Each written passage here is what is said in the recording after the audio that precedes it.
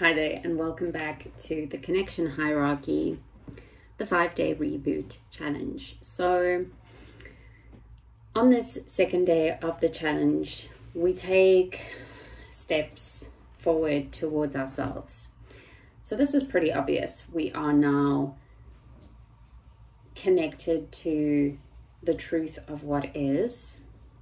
We're at least acknowledging on some level what is in our environment without trying to force or change or add any kind of expectations on how sh- things should be or introducing any kind of narrative of that type. So we're not trying to remove anything or add any additional pressure to the situation.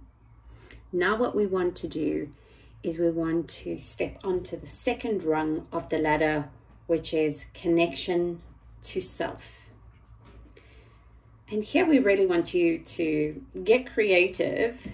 We're obviously going to give you our top suggestions, which are really useful, especially in the context of this challenge, which is just five days. And we're also assuming that if you have signed up to this specific challenge, you're probably feeling like you just want to see some quick, immediate results from quite a low base. And that's not said with any kind of judgment because we've all been there. And in fact, it's quite a it's a dynamic um, situation at the moment where we might be up and down, up and down, and and moving between different ways and different states of being, especially through um, the holiday period, with emotions running high in families, etc. So it's definitely not said with any kind of judgment because we've all been there.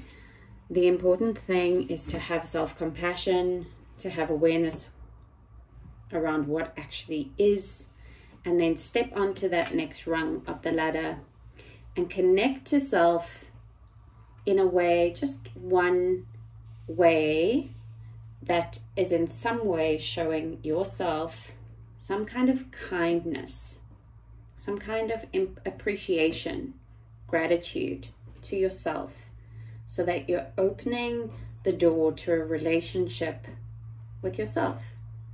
So, as we've opened a door to a new relationship with what is, we're now doing that with ourselves.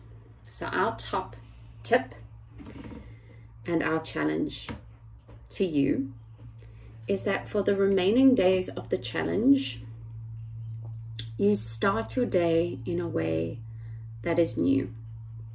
You start your day with a gesture towards yourself before you reach for your phone, because that would be first connecting in with a world of social media or the world of whoever it is that you're engaging with on the other side of your WhatsApp Messenger or Facebook or whatever it might be. So, before lunging for the phone, before jumping up and, and getting ready for work. Something that you can do to connect to yourself. And here's some really simple but very effective ways of doing this. It actually starts with the night before. So before going to bed, you set the intention that you are going to offer yourself a gesture of kindness first thing in the morning and that gesture of kindness is hydration after eight hours or however long it is that you choose to sleep, that you offer yourself hydration upon waking up. And it's super easy to do. So you just, you know, prepare yourself a nice glass of water for next to your bed. If you like some lemon in that, or, you know, you can really take it to the next level and cut up some cucumbers and and some limes in there. And of course this could be something that you want to reach for later on in the journey when you have energy to do that. But at the moment just you know a glass of tap water next to your bed is enough for now.